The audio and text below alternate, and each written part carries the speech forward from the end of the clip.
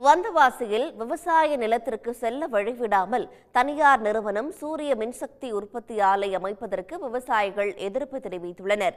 வந்தவாசியை அடுத்த பொன்னூர் கிராமத்தில் பத்துக்கும் மேற்பட்ட குடும்பங்கள் பல தலைமுறைகளாக விவசாயம் செய்து வருகிறார்கள். இந்நிலையில் தனியார் நிறுவனம் ஒன்று முப்பது ஏக்கர் விவசாய நிலங்களை விலைக்கு வாங்கி சோலார் பிளான்ட் அமைத்து வருகிறது. ஏற்கனவே விவசாயம் செய்யும் பகுதிக்கு செல்லும் வழியை மறித்து இந்த சோலார் பிளான்ட் அமைக்கப்பட்டுவதாகவும் விளைவித்த பயிர்களை வெளியே கொண்டு செல்ல முடியாத நிலை இருப்பதாகவும் விவசாயிகள் தெரிவித்துள்ளனர். வந்து சோலார் கம்பெனி இந்த மூணு மாசமா வந்து ஃபுல்லா காம்பவுண்ட் போட்டு லாக் பண்ணிட்டாங்க. எங்க விவசாயத்துல பாதிக்கப்படுது. எங்களுக்கு வழி விட மாட்டாங்க எங்களுக்கு தேவை வழி வேணும் சார் எங்களுக்கு. குழந்தை குட்டிங்கெல்லாம் நாங்க இதை வச்சு தான் இதை வச்சா சார் நாங்க பிழைக்கணும். நாங்க எங்களுக்கு வழியும் விட மாட்டேங்கிறாங்க எதுவும் விட மாட்டேங்கிறாங்க. இதெல்லாம் நாங்க எங்க குழந்தை குட்டிங்களை வச்சுன்னு நாங்க எங்க போறது எங்களுக்கு வழி விடலனா தானே நாங்க இந்த பயிர்ல வைக்கிறதுக்கு? இந்த இவங்க வழியும் விட மாட்டேங்கிறாங்க எதுவும் விட மாட்டேங்கிறாங்க.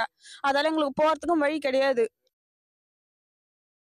மாவட்ட நிர்வாகம் இந்த பிரச்சனையில் உடனடியாக தலையிட்டு உரிய நடவடிக்கை எடுக்க வேண்டும் என்று வலியுறுத்தியுள்ள விவசாயிகள் தங்களின் விளை நிலங்களுக்கு செல்ல நிரந்தர பாதை அமைத்துக் கொடுக்க வேண்டும் என்றும் கோரிக்கை விடுத்துள்ளனர்.